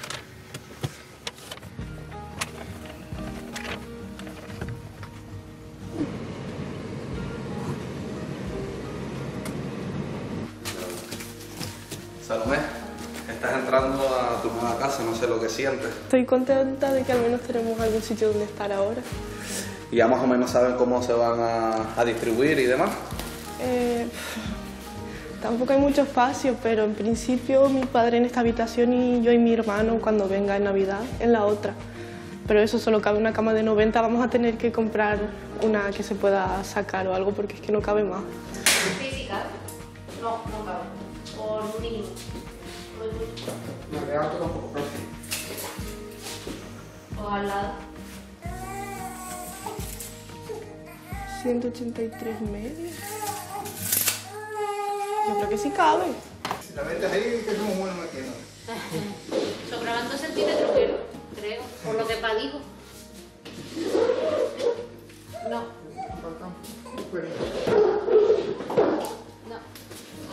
Ni de ancho. Nosotros lo medimos, pero ahora no cabe ninguna de las dos cosas. Y ahora a ver qué hacemos, porque si no, nos quedamos sin espacio. Todavía no hay luz, ¿no? No. Ni agua. Agua, Sí, agua sí tenemos. agua sí. Agua sí, sí está saliendo. ¿Y cómo van a solucionar estos pequeños problemas que les ha surgido ahora que no se esperaban? Bueno, eso lo vamos viendo poco a poco. Sí. Con positividad. Bueno, muchísimas gracias. Estos son los nuevos hogares de muchas familias que lo han perdido todo. Ya han podido comprobar los inconvenientes que han tenido para instalarse en ellos. La familia de Salomé nos ha servido de ejemplo para que conozcamos su nueva realidad. Vamos a, a estar muy pendientes de esos vecinos de la isla de La Palma que continúan ¿no? eh, sufriendo las consecuencias del volcán, pero ahora vamos a cambiar de tema porque vamos a hablar de algo que a Alicia y a mí nos apasiona, que es el queso por la World Cheese Awards. Mm, y cómo huele, ¿no? Huele, sí, huele, huele. Siempre asistimos a estos certámenes y los quesos canarios siempre terminan llevándose premios y reconocimientos, Sí, ¿verdad? porque ahora, por ejemplo, en esta última World Cheese se llevaron casi 40, 39 premios. Siempre ganamos. Ahora, por ejemplo, tenemos aquí dos que Claro. son los superoros, ¿no? Porque dentro de lo que son los premios bra- plata, eh, bronce y oro, luego están los superoros, ¿no? Que son como otra categoría. ¿Y qué tienen los superoros? Los superoros normalmente es que ya dentro de los oros se eligen cuáles son los mejores oros en las mesas. Claro, que son cuatro mil y pico quesos, ¿no? Claro. Y luego esos superoros van a, a lo que sería la fase final, ¿no? Bueno, esto está buenísimo, ¿no? Y lo sabe bien Isidoro Jiménez, que no le hemos presentado, es técnico de la Consejería de Agricultura y maestro quesero y que, es- vamos, que conoce el queso de arriba abajo. ¿Podemos probarlo? Claro que sí. claro. Además, aquí tenemos dos quesos distintos, ¿no? Los dos superoros. El, el bodega de uva, que es de oveja, que es un queso de nueve meses, y este que pajonales, que es de bolaños, que también tiene más o menos ese tiempo. Lo que fija, si se fijan en los colores teniendo el mismo tiempo, son totalmente distintos, ¿no? Cabra, color blanco, oveja, un color más marfil, ¿no? Y bueno, se nota. Claro. ¿Qué, qué te pareció ese? El de uva está, vamos, Buenísimo. para, para mm, comer durante todo el día y yo creo que hay que felicitar a la productora, ¿verdad? Claro, vamos a saludar a Arminda, que ella es además la productora, la gerente de esta finca de Uga donde se realiza este queso. Enhorabuena, Arminda, enhorabuena por este premio en la World Cheese Award. ¿Qué tal? Sí, muchas gracias por, por este reconocimiento. ¿Qué tiene ese queso que ha sido premiado? ¿Qué tiene el queso que ustedes elaboran? Pues mira, este queso particularmente, como decía Isidoro, muy conocido por mí, eh, es un queso elaborado con leche de oveja y la peculiaridad que es la oveja de raza canaria, que está en peligro de extinción, ¿no? Que es muy importante. Y esta leche que se obtiene de este animal eh, tiene una, es, es rica en grasas y proteínas y por tanto le va a conferir unas connotaciones bastante agradables al queso, ¿no? En cuanto a textura, aroma y además sumándole pues esa maduración larga que tiene de 8 o 9 meses que, que acentúa más esta, esta, estos aromas y estas eh, connotaciones. Oye, pues Arminda, está espectacular, así que si ustedes tienen la posibilidad de comprar uno de estos quesos Juga, eh, anímense porque está buenísimo. Muchísimas gracias, muchas felicidades eh, por ese premio. A ustedes, gracias. Si se fijan, normalmente en una cata se mira el aspecto externo, el interno, el corte, ¿no? El aroma, el sabor. Y en este caso también incluso este queso tiene sonido. Lo han probado, no ese clan, clan, esa tiroxina que tiene, pues es un queso que está bien curado, ¿no? Venga, si le parece, hablando de cata, vamos a hacer una cata aquí en el Venga. programa, en directo, porque aquí tenemos, Alicia, otros tres quesos distintos que no sabemos su nombre ni su procedencia, y vamos a intentar adivinarlo con alguna característica que nos diga Isidoro de por dónde ejemplo- son. Por ejemplo, eh, ¿ustedes saben aquí cuál es el queso majorero? Queso majorero. Aquel, ah, bueno, no sé. A ver, a, a simple Bueno, vista, que- queso majorero normalmente... diría que aquel, pero a simple vista. de cabra, Vamos a probarlo. suelen poner pimentón. Bueno, prueba ese Yo- si yo- quieres. yo A ver, diría- tú prueba ese. yo prueba. diría Venga, este, yo voy a probar Alicia. este. Venga, Bueno, a ver. ¿qué? queso de cabra. Este es suavecito, ¿eh? Son tres quesos totalmente distintos, ¿eh? estos que tenemos aquí. Casualmente, ¿eh? Mm, no Yo- sé. Yo acabo No con sé. tanto queso, no lo sé. Bueno, déjame probar este. Venga. Yo me estoy poniendo la pota aquí. Bueno, el queso majorero normalmente suelen tener... Vale, yo creo que Mm, este. ¿Ese es el majorero? ¿Tú has Ay, no lo sé. Venga, yo digo aquel. Venga, ¿cuál es? Es este. Es este. Hombre. Este además tiene denominación de origen. Este es, en clase- es un maxorata. Son quesos de leche de cabra. Pimentón, sobre todo, se nota mucho en los quesos majoreros. Es una de las características. Que lo vemos en todas las islas, ¿no? Pero el majorero como que más se nota, ¿no? Que yo comí mucho queso majorero, pero eso me, me y recordaba, bueno, ¿eh? es un queso que está madurado, ¿no? No está muy madurado, pero tendrá a lo mejor tres meses. Y está bueno. Está riquísimo. Mira todo lo que tengo ya aquí para Ese que merendar ahora, ahí, ¿eh? Es de San Mateo. Ese de San Mateo efectivamente es un queso que tiene vaca y cabra. Normalmente siempre estamos relacionados los quesos en la zona donde están, ¿no? ¿Y el del hierro que tiene? Bueno, pues el del hierro, vamos ir ya. así, pues el de hierro, que son quesos de leche de mezcla, tiene oveja, vaca y cabra, y el hierro tiene otra característica, que son ahumados, ¿no? Lo habrás notado, ¿no? Sí, El no, humo, el aroma ese, y además es un queso muy curado, ¿no? Se nota. Pues Isidoro, ha sido un placer. Gracias a Muchísimas gracias por acompañarnos en Nunca es tarde. Bueno, Oye, David. los quesos, ¿no? Ah, buenísimo. Del hierro al hierro, ¿no? Es verdad, mira, qué, qué bien hilado. Nos vamos del hierro al hierro, Sara, porque ha llegado ese gran momento de tocar puertas. Uy, que se me cayó el queso. Sara, ¿dónde está? Por aquí, ya estoy por la, por la calle El Charco y además yo me he quedado, porque como bien decías, ya me hice famosa en Valverde porque dicen que soy la chica que se parece a Audrey Hepburn, así que dije, mira, pues voy a tocar por las casas así, yo clasicona, con faldas y a lo loco, David. Claro. Así que vamos a ir tocando, eso, enfócame los zapatitos que están bien lindos.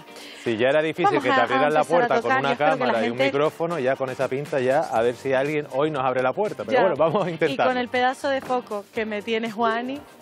A ver, he tocado porque hay, hay dos timbres porque esto parece una, una casa, o sea, dos casas separadas. Ajá. Y dije, voy a tocar este que intuyo que será el de arriba, que es donde hay luz encendida. Venga. Yo todo con un logística, ¿no? Claro, tú, inteligencia. Ahorrando Parece energía que y tiempo. cositas. La lista. La claro, lista. David, es que la a tocar, lista Sara, porque yo creo que lucirse, claro, por Hay algo- luz, pero han pasado de ti. Venga, vamos a tocar. Con esos guantes, madre mía. No me digas Qué eso, elegancia. David. No me digas eso. Mira qué glamurosa vengo. Pues sí. A ver si hoy vamos a repartir dinero con esta elegancia. Lo que yo, lo que yo me pregunto es si con estos zapatos yo voy a poder correr tanto como el concursante o la yo concursante creo que, que no. vaya a hacer hoy. Bueno, pues ahí Bueno, eh, Pasamos a otra casa. el vecino David, vecina de esa casa no va a concursar hoy. Se Pero ha ya perdido saben en qué calle 1.300 euros. estamos. Vamos por la siguiente. Pues seguimos. ¡Ay! ¡Ay! Esta puerta me pilla cerrada. Venga, pues vamos Pues a la la siguiente porque esta me pilla cerrada. Digo, no quieren recibirme en Valverde, no. Allanamiento ¿por de morada lo Me justo. pregunto yo. Oye, que parece Ay, eso, mira, ya te Audrey digo que ya Hepburn, estoy empezando a practicar en vez de desayuno con la diamante, bajada con en, los zapatos. Estoy empezando a practicar yo. en vez de breakfast, breakfast en Vamos Tiffany, en, en el Hierro, en Valverde. Ay, por aquí sí. Merienda Valverde, puede ser tu abierta. película. Pasen, Venga. compañeros, pasen. A mi humilde morada. Por aquí vemos un patio muy bonito, que me estaba fijando ahora al entrar. Uy, aquí para tomarnos el té. ¿Tú, eres de té Oye, o de café, David? Pedazo de terraza, ¿eh? Ese descansito ahí, quien lo cogiera, Ya ves. esa terraza. ¿Hay alguien? ¿Escuchas algo, Audrey? No, no, pero hay que tocar dos veces porque Venga. tú bien dices como el cartero, pues Como el soy cartero yo. que siempre toca dos veces. Vecinos y vecinas del Yo charco. que- Hombre, yo sé que llevo estas pintas, pero me puse para la ocasión. Sara se ha ido a, A ver, número 6. la calle más No va a tocar el número 6. desangelada de Valverde, porque no hay nadie tampoco. Venga, vamos a por otro. Mira, no. Porque Recordamos por aquí, que son aquí también 1.300 tienen euros. luces. Es que... Vete a por la luz, sigue la luz. Ay, mi madre David. Venga, pues. Como una polilla voy yo. Vamos, Juani. Mi intrépido compañero de hoy. Vamos para allá. Vamos allá. Aquí pone Alguien hay ahí, eso Ibamar. seguro. Ibamar. Ibamar, Cariño. por favor. Vamos a ver, me escondo un poquito, porque tú imagínate que yo pase con estas pintas por la ventana, de repente vean una, un llama a la así, policía directamente. Yo creo que llama a la policía. Venga, vamos para allá. Ibamar, eh, sabemos que estás en casa, así que nunca un es tarde para seguir jugando. Es la, es la frase que tienes que responderle a Sara pues, para participar en la lista. Nunca es tarde para seguir jugando. Que no te quieren abrir la puerta. Oigo pasitos, o mira, o si... ¡Uy! ¡Ay, qué miedo cómo abre poquito a poco! ¿Tiene usted lo que estoy buscando? Nunca es tarde para seguir jugando. Muy bien. ¡Bravo! Valverde. Hola, mi amorcito, el perrito. ¿Cómo te llamas? Itaísa. Itaísa que te lleva Itaísa. 50 euros por saberte esa frase maravillosa. Gracias. Me alegra que, que me hayas abierto así. Me he puesto para la ocasión para darte esos 50 euros y el bote si tenemos mucha suerte. Estás muy guapa. Ay, muchas gracias. ¿Con quién vives aquí aparte de con el perrito? Eh, con mi hijo, con mi gato y mi pareja. Qué mira, bueno. familia Que tienen- oh, estamos muy bien acompañados hoy. Tenemos animales. Tenemos. ni- Hola, mi amor. Ay, que me, lo- que me lo llevo, Itaisa. Que me lo llevo. Yo no quiero asustarte, pero me encanta. Al que te lo lleves. ¿Cómo se llama el perrito? Dilo tú. Poppy. Poppy. Poppy, Ay, me qué encanta, lindura. ¿Nos enseñas un Poppy. poquito tu casa? Mm, Adelante. Venga, pues vamos. vamos. Venga, Vamos a entrar en su casa para hacerle desde aquí, desde este precioso salón. Ay, mira, mira por ahí para allá estamos. Estamos em- emitiendo En aquí. directo, Uy, claro. ¿y Taisa? ¿Dónde está? Ven que te tengo que hacer una pregunta. Ponte, ponte por aquí. No te me vayas, no te me vayas porque te va... Ay, que se me va a jugar. El que se me va a ir es Juan y un día de estos. Yo no sé, no sé lo que tenemos que hacer con él, pero se me iba por las escaleras para Ah. abajo. Y Taisa, ¿juegas a la lista con nosotros? Sí, claro. Sí, claro. Ella tímida, tímida pero decidida, que Pues no venga. es poco. Así que David, nos Sara, vamos a quedar aquí te preparando. dejo preparando a Itaisa, a Poppy, a su hijo y a su marido pareja eh, donde esté. Y nosotros en dos minutos, dos minutos y poquitos segundos empezamos a jugar. Así que hasta ahora.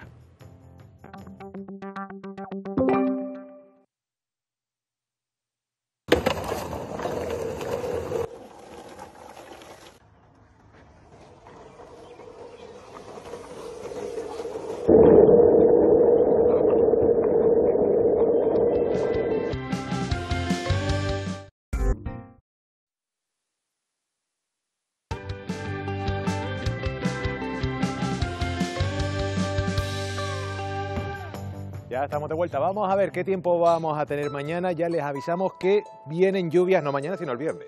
Vienen lluvias a partir de finales de esta semana, porque ojo que llevamos 45 días sin que llueva de forma generalizada en nuestro archipiélago, ni una gota. Vámonos a la isla del Hierro. Mañana en la zona del Pinar, en el municipio del Pinar, habrá 21 grados de temperatura, sol y nubes. Les invitamos a que nos envíen sus fotos, como ha hecho Vileque y Eric, que son de los Países Bajos y están precisamente en la isla del Meridiano de vacaciones. Un selfie, por favor, queremos verles la cara. Nos vamos ahora hasta la isla de La Palma, donde tendrán una situación meteorológicamente hablando muy parecida. Sol 20 en Barlovento, 23 grados en el sur en Fuencaliente. Y nosotros les invitamos a que disfruten, por ejemplo, mañana de un concierto de Humberto Ríos y Pablo Rodríguez, que se celebra en el Teatro Circo de Marte a partir de las 8 y media en Santa Cruz de La Palma. Y mañana en Vallehermoso, en la isla de La Gomera, tendrán una jornada de sol y de nube, de intervalos nubosos también, alrededor de 22 grados de temperatura que va a haber en esa zona de la isla de- del norte, de la isla de La Gomera. Y si están por San Sebastián, les ofrecemos una- un plan, un plan dulce. Escuchen. Si aún no has venido a San Sebastián de la Gomera, tienes que venir y probar nuestros productos en Dulcería Rosa. No te lo pierdas. Pruébalo. Eh, o Pintaca. En Tenerife tendremos mañana 20 grados en la guancha, al igual que el Arafo, nubes y eh, algo de sol. Precisamente estos calores nos recuerdan que periódicamente solemos tener pues, eh, estos episodios tropicales de altas temperaturas. En 2017, eh, por ejemplo, llegamos a rozar los 33 grados en algunas zonas como en Adeje o la aldea. Aquí tienen los mapas de temperatura para que vean, la aldea de la isla de Gran Canaria 32 grados con 7, 32 con 1 en mitad de noviembre y cada vez está siendo más frecuente.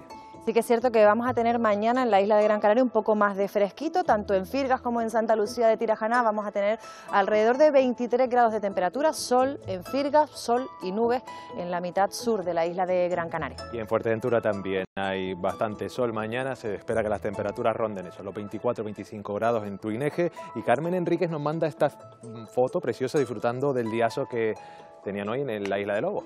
Vamos a saltar a la isla de La Graciosa y de Lanzarote, en La Graciosa 24 grados, tendremos en Caleta de Cebo y en Yaiza unos 26 y precisamente en Lanzarote se está celebrando ISLAP, que es un encuentro para potenciar el turismo y Lanzarote se quiere seguir posicionando como isla turística sostenible. Y de Lanzarote nos vamos al Hierro, Sara, porque vamos a jugar ya a la lista que nos quedamos sin tiempo, cuatro minutos cuando quieras, lees el primer objeto y empezamos a jugar.